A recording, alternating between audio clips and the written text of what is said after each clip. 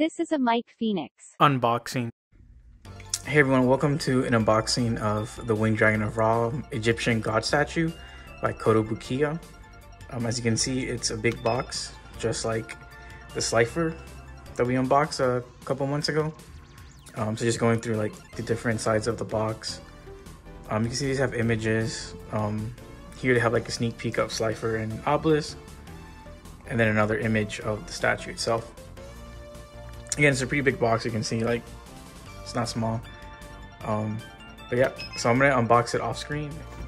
Um, this is what the inside looks like. Each side, and again, there's two halves, so each side is triple protected.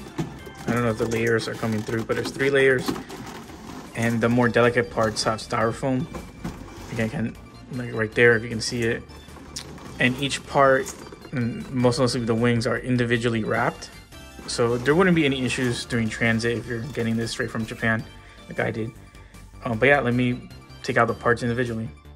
Now they have all the pieces separate. As you can see, the body is into three parts. The body, I guess the torso, the tail, the head, two wings, and then the base plate and two stands.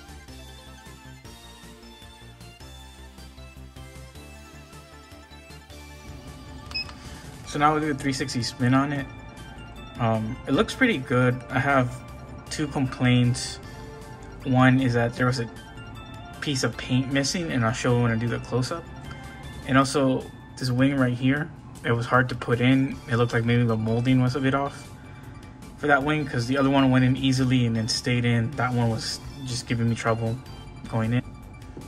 And um, does have parts that move, so his legs move all the way back, all the way front, so, um, his feet slash claws go like that, and yep, his arms as well, his claws go that all the way back, and his hand, like his wrist, so he can move his elbow and then his wrist as well, and then his entire arm as well. So I don't even want to make it look like he's flying like supersonic speed, maybe like that. But I think the main pose people are gonna have it in is him like like he's just arriving to the scene. And I'll be doing the close-up now. And for reference, this is where the paint is missing. It came like that out the box. Um, it wasn't like I hit it anywhere or anything. It's unfortunate, but it's not really noticeable when you're looking at the statue from the front.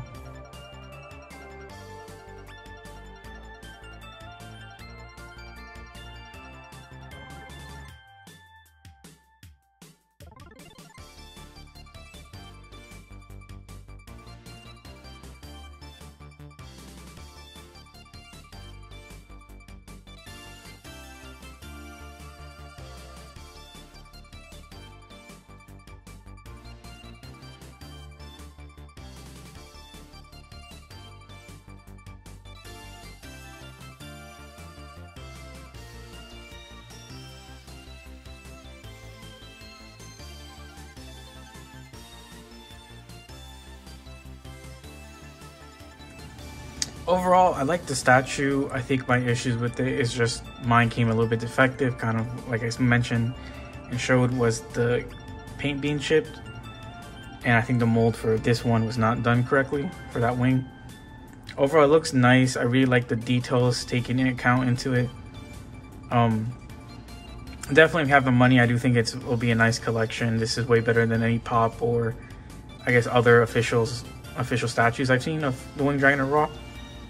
And um, as a bonus, I'll be showing Ra and Slifer side by side.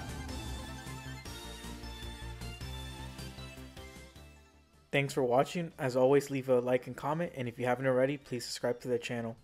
Thanks, and let me know what you guys want to see in the future.